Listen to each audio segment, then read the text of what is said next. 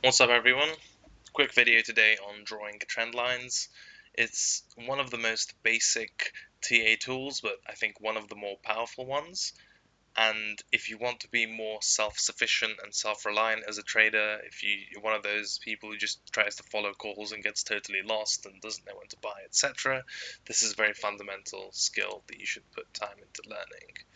Um, so what are trend lines? They're literally trend lines, and you're joining highs and lows, well, highs to highs and lows to lows to identify stuff like the trends and essentially give you other information like support, resistance, and patterns, channels, and so on.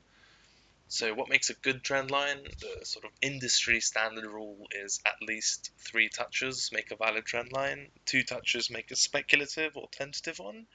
Um, these touches should be spread out fairly evenly along the trend line, or at the very least not be clustered all in one place.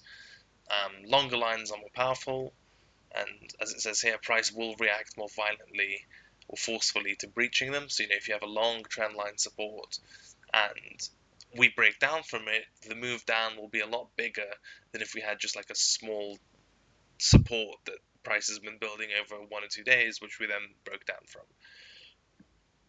there's a comment here about bigger time frames more like to give valid lines. This doesn't mean what it means for like the other indicators and stuff I talked about. This is more sort of if you're trying to draw big picture trend lines, don't use the sort of 5, 15, 30 minute time frames for it. How do you draw them? You connect the high point with another high point, and then you extend the lines to see if if they if there are enough touches and everything else to meet the criteria that I talked about a couple of slides ago, and then you do the same with the lows. So if you do that with the highs, that's your resistance, and the lows with your support. Um, in terms of wicks or bodies, I used to draw just to the I used to draw whatever it took to get as many touches as possible, and now I mostly try to stick to the wicks, except when there's some sort of crazy wick um, which is just getting in the way of a nice trend line. And I, I don't mind breaking a wick, especially if it's some crazy anomalous one. And as I mentioned here, these are my main time frames for drawing trend lines, one hour, four hour, daily. I'd say I use the four hour daily the most. So just some quick tips. These are zones, not magic lines. So, you know, if whatever you're tracking falls a bit below or a bit above your trend line, it's not the end of the world. And it's probably not an immediate huge moon breakout either. So be patient. Um, don't force a trend line that you feel should be there. So, you know, if you have a coin that you really like and you're trying to draw a bullish chart, don't bend the trend line to fit whatever you want it to fit. And generally, good practice, keep an eye out for trend lines that were broken. So, if we do some examples here. Um, so, here we've got Bitcoin. And I'm going to hop onto the 4 hour and show you an example of a support line so on TradingView, this is the trendline tool. I'm going to click it. I use the second thickness. So let's click on this swing low and connect it to this swing low. Right, so here's the first step, and then I'm going to extend it to see if we can get more touches. And as you can see, that ends up working really quite nicely for us. Just clean this up. Yeah, and this is a perfect example of the criteria as well. It's a long line, which is good. Price has been respecting it ever since this move to 3K. Excellent. Touch, spread out, touch, spread out, touch, spread out, touch, spread out. Um, so, you know, it's not implausible that we set this as our target for a retrace, this trend line, and see um, what price does when we meet it. So, you know, this, this is just an example of what a support line looks like. I think there's a resistance that we broke through yesterday on the one hour chart. Uh, yep, okay, same trend line tool. I'm going to go from this high and join it to this high. Okay, so that's my first set. I can even extend this a bit. I don't mind not being 100% accurate. And then I'm going to extend it again. Oh, nope. I'm going to extend it again and here you see we get a really nice resistance. Let me just clean it up. Yeah, touch, touch, touch. And you see this touch eventually led to a breakout. Um, and this is a valid ceiling as well because it acts as resistance, right? We went up, rejected by the resistance, up, rejected by the resistance, up, rejected by the resistance, up, successful test, and this was this uh, crazy move. Um, so that's an example of a valid support and resistance I drew for you. Um, is there an... hold on. I suppose there are a couple of channels on Bitcoin. Um, let me see. Okay, okay, well actually, if we're doing this, the obvious channel is the 2017 channel um, that we've been that we've been in and that we're testing right now. And I'll show you guys that one. So I'm going to go from this high. Again, this is all the same no matter what time frame you choose. Go from this high, and I'm going to connect it to this high. Um, but as you can see, we're already starting to get a lot of points lining up. So I'm going to go ahead and stretch it. Um, because I, well, I'm biased here because I know that this channel is a thing, but hopefully it's still helpful. Something like this. Let me clean it up.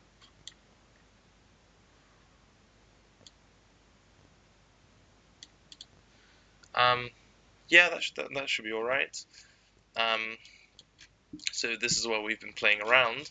As you can see, this is a perfect channel. This is a very, very long-term channel. I do want to reiterate that channels are great for day trading as well, but this is just the example that came to mind. Um, and so you see, this has been acting as a sort of moving ceiling for um, since the start of 2017, and it's been quite resilient. You know, we've tested it here: big correction, test, a big correction, test, big correction, and now we're seeing how we do this time around. But obviously, if past patterns play out, we'd expect a correction um, if we fail to break above it once again.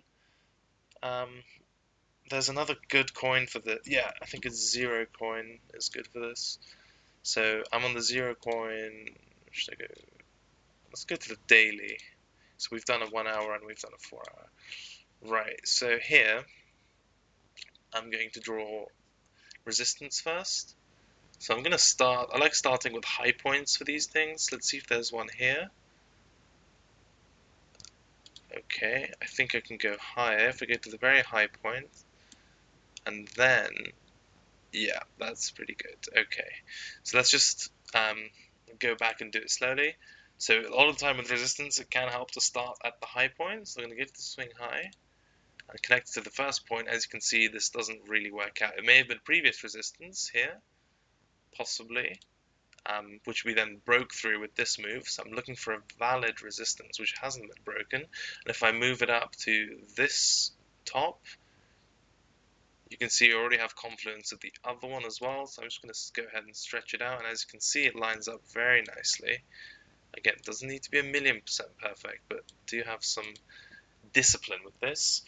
And this is a great resistance line, so you know the touch long line, and remember this is on the daily chart. This is a multi-month resistance, lots of touches spread out evenly. If we do the same for the support, and this is also an important point. People always think that support has to be sort of moving up or doing something else.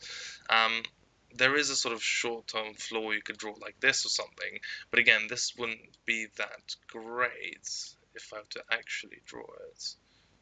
Um,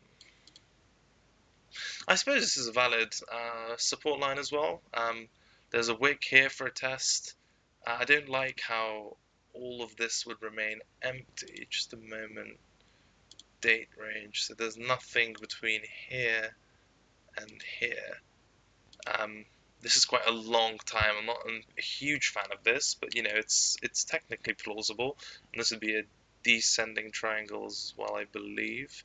Even though, yeah, whatever. So this is one way of doing it, but the way that I think makes more sense is if you start from this low and draw a line to this low, and as you can see, it then lines up with the rest of these. I'm going to stretch it out here as well. So this is a lot more textbook, and you know that was like 160 bars gap, and this is only well about half as much. So I, I would prefer this support line because I think it has more touches first of all, and second of all the gap here isn't as big, right? Test, smaller gap, test, test, test, and as you can see here, this is also a falling wedge uh, pattern, which is a bullish reversal. So you'd expect something like this you know, to play out. Um, very rough drawing, but you know it's a bullish reversal, so towards the end, um, BA we'd break out. But anyway, the point is, um, don't always expect your support lines to be like, okay, where's the support? I'm trying to draw it up, I'm trying to draw it horizontally. You will get a lot of supports and resistances as well. Um, well, resistance the other way around, but you will get supports which slope down. Um, and a lot of patterns are based on this kind of stuff, so it's worth uh, keeping an eye on. Okay, I think that's everything. Hopefully that was helpful. Um, Oh, and the last thing I will say is this: a lot of this seems pretty comfortable in theory, and when you watch it in video, it makes sense. The one thing that simply helped me the most was screen time and practice, practice, practice. I would go stuff like go on CoinMarketCap or go on Bittrex. Then I would open these coins, any of them, top 50, top 100, I wouldn't care. Anything that's on Bittrex, and I would just chart it on TradingView. I would, you know, I would just make a chart, practice drawing trend lines, practice so many coins a day. You have no idea how many hours I put in. Um, unfortunately, to my girlfriend and degree and stuff, of just opening random stuff and going, okay, I'm going to go for the highest coins by volume, and I'm going to draw uh, this chart, this chart, this chart, etc. And once you do that enough, you will be able to open any chart and it'll take you a lot less time to be able to figure out how you would draw it. So you know, um, learning this stuff via video and watching videos, etc. It's all good to establish a base, but once you know the rules, um, I would suggest screen time as practice is the best way to getting better. Okay, hopefully that was helpful. I'll see you for the next video, which will probably be on either horizontal levels. Yeah, I might do horizontal levels and Fibonacci retracements and extensions. That should be good. Cheers. I'll see you next time.